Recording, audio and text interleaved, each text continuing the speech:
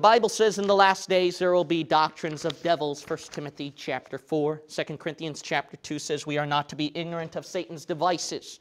It is important to know that in these last days we are not to be ignorant of what Satan's doing in our world so that we don't fall prey into his system. Now, the one person that the Lord has mightily used during the golden age of Laodicean apostasy, one of them, the two golden pillars, is Jack Chick. The Lord has mightily used him. In my opinion, I believe Jack Chick and Peter S. Ruckman were the two golden pillars that the Lord has used to save Laodicean apostasy. So now that they're gone, we're now relying on the silver pillars now, and there's a new generation coming up. There's a new generation coming up. The silver pillars are getting older now. So I want to respect and honor them and drag them to the blowout as much as I can because they don't last forever. They don't last forever.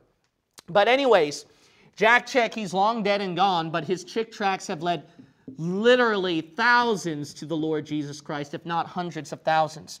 Now, there's a report that's going on in Auckland, New Zealand, which is no surprise right there. It has to be at that area. But in Auckland, New Zealand is one of the worst places in the area of New Zealand where they are more intolerant toward Christianity, yep. where Islam is growing and where other religions are coming in. So in Auckland, New Zealand, they got mad at the Chick tracts because there's some believer out there who left out a Chick tract at some Muslim person's home. And you know what's, you know what's funny is that uh, the Muslim person did not want to be identified. Why is that? Why is that? See these people? They're scared. So they resort to the government and the power of the news media to defend them. Whereas Bible believing Christians who do not have the power of the news media or the government, we boldly stand up front and proclaim the name of Jesus Christ. These people see they're sensitive and they're scared and they're a little whiny, but then Bible believing Christians, we're the ones that go more upfront and bold. Now, here's the report that was given. This was found at the article by Katie Bradford, May 11th, 2019 police investigating after anti Islam leaflets dropped in Auckland. Now, this was so messed up, okay? A Sri Lankan woman living in Mount Roskill who didn't want to be identified told One News she saw someone leaving the leaflet in her letterbox. She was so concerned about the material, she took it to police. Oh, tisk, tisk, tisk. Do we, did I see one of my members calling 911 if they see some kind of uh, anti-Christian material? Oh my goodness. Oh, tush, tush, tush. So she said this, quote, I think they are taking it serious. They came immediately. Oh, wow. You know, we should start doing that. We should all start doing that. I mean, isn't this a tolerant, tolerant area that we live in, San Francisco Bay Area? We should start whining. We should all start sending out letters to the cop stations and all that. We should start whining too about our faith being persecuted. Someone harassed us during street preaching. We should start doing that too. My goodness. Now look what the police did. This is so, this is ridiculous. Police have taken fingerprints and have canvassed the neighborhood to try and identify who delivered the material. Man, we just pass out chick tracts oh, hi, here's a free little comic for you. And then they're just going to pounce on you and arrest you. We're going to take your fingerprint and, oh, grow up. Amen. Oh, my goodness. Oh, my goodness.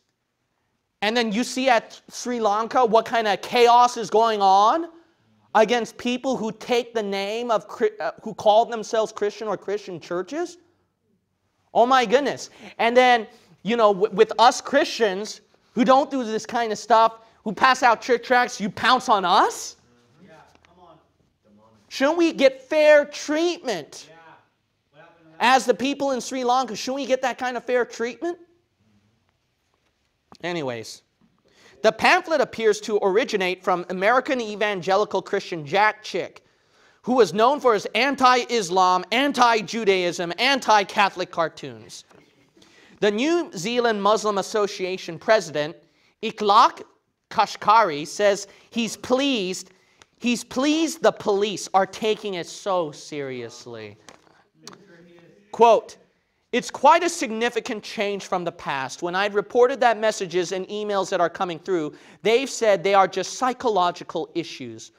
We have been encouraging people to report because we've had the silent majority not speaking for some time. So we're encouraging New Zealand and the community to discuss these things, he said. Police are urging, uh, listen to this, okay? This gets really good. Police are urging anyone with similar concerns to contact them and say they are taking the matter seriously. Oh, tush, tush, tush. Mm. Oh my goodness, these people. Wicked. Oh my goodness. Let's, let's start keeping track now of, let's start keeping track now of all the things that we watch on Comedy Central shows where they mock Christianity, where they criticize Christian beliefs, and let's start taking issue with that and complain, shall we? Tisk, tisk, tisk, man. What a bunch of wicked. Look at 1 Thessalonians chapter 2. Not a surprise. Verse 1 For yourselves, brethren, know that our entrance in unto you, that it was not in vain. But even after that, we had suffered before and were shamefully entreated. Amen. Amen. That's what the government, the news media, that's what this wicked world does. Yep. When you try to deliver the gospel, they shamefully entreat you. What? What do we do? We just gave a harmless little cartoon comic book.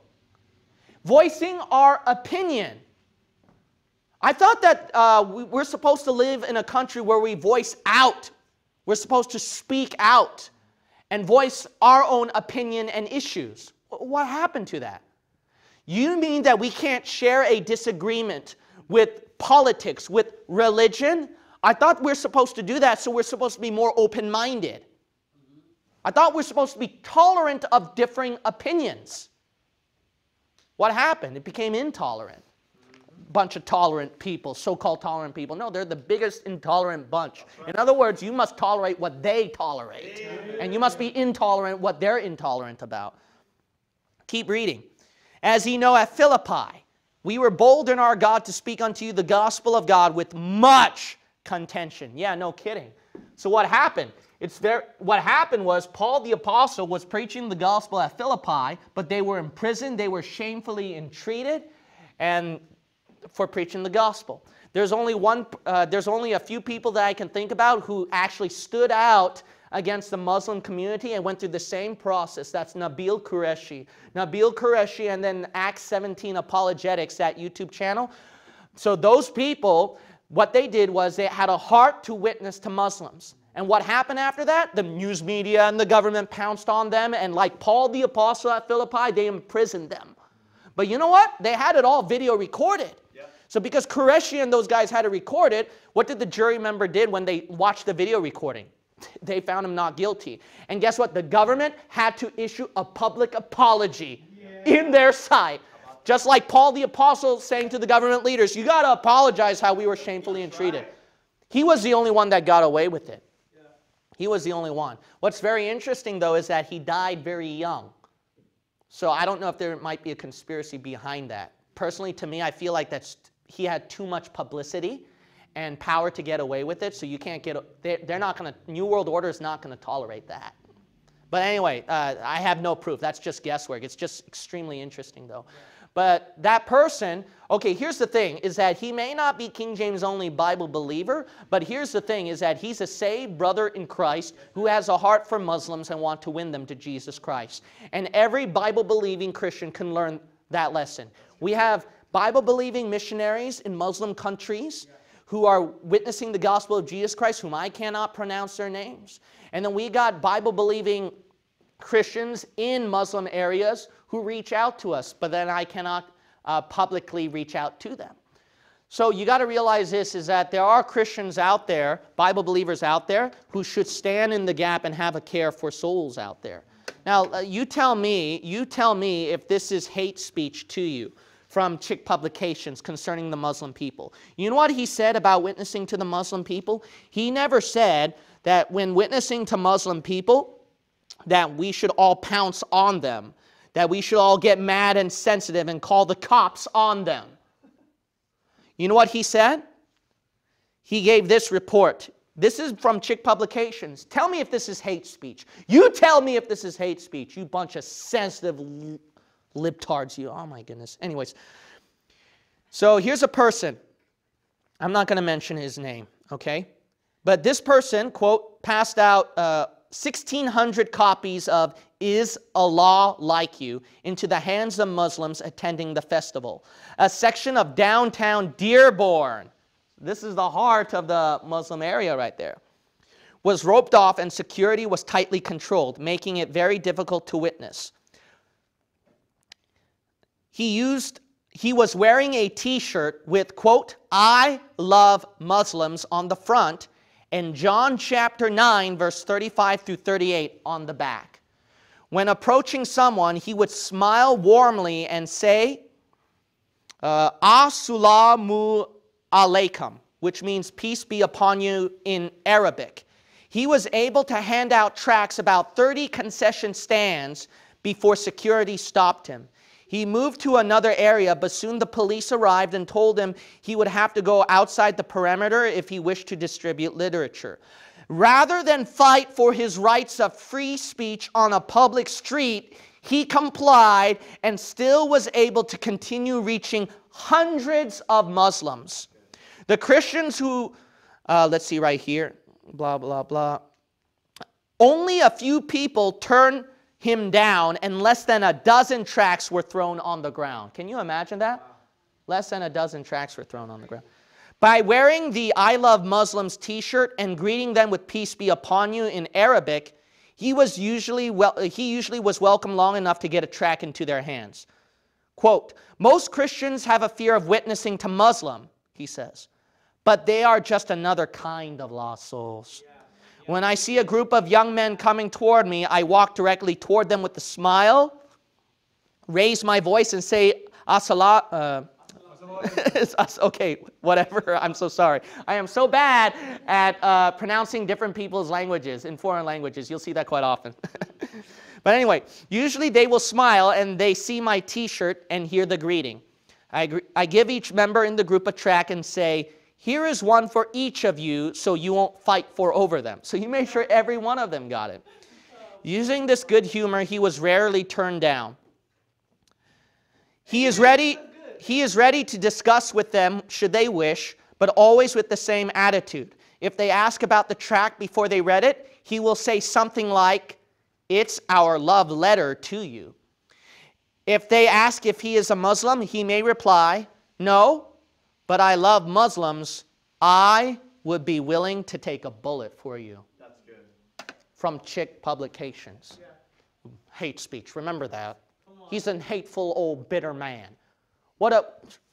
You bunch of sensitive, wicked people. You just want us to gratify you. We, you just want us to agree everything you want. You just, oh my goodness, man.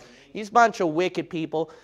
You got to realize this is that what is wrong with having a love for lost souls who are in danger of burning in hell for all of eternity?